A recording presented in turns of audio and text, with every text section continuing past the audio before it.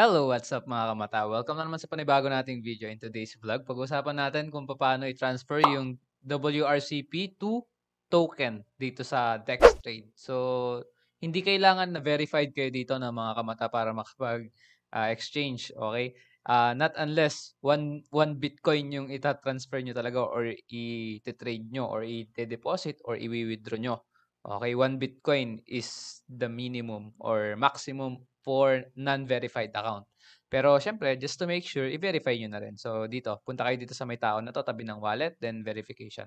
Pero kung katulad lang naman ito, 1,030 lang naman yung binili kong Warcrypt token, eh kahit hindi ako verified, pwede akong mag-trade. Pwede ko rin i-deposit anytime, pwede ko rin i-withdraw anytime. So, basta hindi lalagpas sa worth of 1 Bitcoin. Okay? Yung ilalabas nyo or i-deposit nyo. So, yun lang mga kamata, no? So, huwag kayong matakot. And then next mga kamata is, syempre, yung paano ita-transfer yung Warcrypt token. Unang-una mga kamata, kailangan na ilagay nyo na yung asset nyo dito as Warcrypt, okay? Or na i-transfer nyo na. So, from old Warcrypt, i- isa-swap nyo siya dito sa Warcrypt 2. So, paano yan mga kamata? Punta kayo dito sa Warcrypt and then click nyo tong swap. And then dito sa swap, uh, i-connect nyo yung MetaMask nyo and then i-max nyo tong old Warcrypt token and then swap WRCP sa new token. So, yan na. Mapupunta na siya dito sa um, Warcrypt 2. Okay? Ito na siya. Dito na siya pupunta.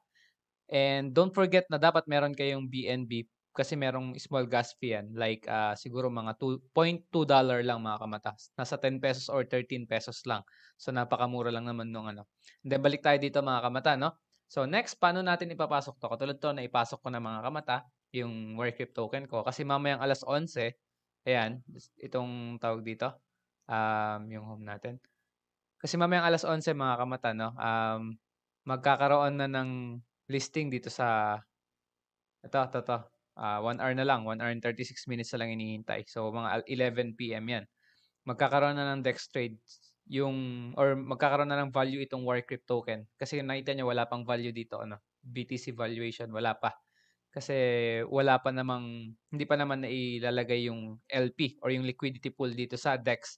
Pero nilagay na nila yung token. So pwede pwede mo nang i-deposit para later pwede ka nang mag-exchange kung gusto mong ibenta na mamaya or pwede mong hintayin yung December 12. And yan, so proceed na tayo dun sa mismong content natin kung paano i-transfer. Okay, first, punta ka dito sa wallet mo. Pag-click mo ng wallet, hindi mo pa makikita tong WRCP diyan dahil wala pang dahil wala ka pang 00 lahat 'yan. I-search mo lang dito, okay? WRCP. Okay, and then click mo tong deposit kasi magpapasok ka sa loob ng DEX. Pero kung ilalabas mo na, i-click mo yung withdraw. Pero kung deposit, yan, click mo yung deposit kasi magpapasok ka nga galing sa MetaMask. So, i-understand mo lang. Click mo i-understand. Tapos, uh, make sure mo na naka-BEP20 ka or BEP20. And then, copy mo lang to mga kamata, no? Or kung cellphone naman yung gamit mo, pwedeng QR code na lang. I-scan mo lang tong code. Then, send mo. Pero kung uh, manually ka naman nagta-transfer, naka-PC ka lang din or desktop tulad ko, copy mo tong address. Yan. And data successfully copied. Punta ka sa MetaMask. Click mo yung MetaMask mo and then click send. And then, i-paste mo dito kung sa yung kinapi mo. Pag paste mo, automatic na yan no? Uh, i-exchange, i-set, i-set mo lang tong asset mo na, syempre, from BNB to War, Warcrypt 2. Yung old, eh, yung new. Okay? So, conversion rate niyan, uh, ito na, halimbawa, 1,000, 1,000 yung Warcrypt more 1,030. I-max mo lang yan, max amount. Tapos, yung gas price or yung GWay, wag mo nang palitan yan para hindi ka na, ano, tawag dito, para hindi na ma-delay. Tapos, click next mo lang. And then, mga after 2 minutes or 1 minute, papasok na siya. So medyo matagal lang siya pumasok, mga 2 to 5 minutes siguro kung medyo mabagal yung internet mo. I-refresh, refresh mo lang siya. And then, kapag wala pa rin, ang gagawin mo mga kamata, is punta ka ulit dito sa, kunyari, punta ka sa market or ni-refresh mo, hindi pa, hindi pa pumapasok, halimbawa lang. Yan. So, halimbawa, back to zero ka dito. And punta ka dito sa may wallet mo, ulit. Tapos, click mo tong history. Yan. So, papasok dito yung deposit history mo. Diyan mo i-click. Minsan, kapag, ano, pag wala pa, yan, tulad sa akin yan, pumasok na. Kanina pumasok. Ah, kanina wala yan, hinihintay ko ang tagal. siguro dahil baka hindi pa alas 11, kaya hindi pa pumasok. Yun siguro yung iniisip ko. Pero, Nung ano, nagtagal-tagal nung ni-refresh-refresh ko lang siya, ayan lumabas na siya. Ah, kanina nga kinlose ko pa siya ta's inopen ko ulit yung Dextrade.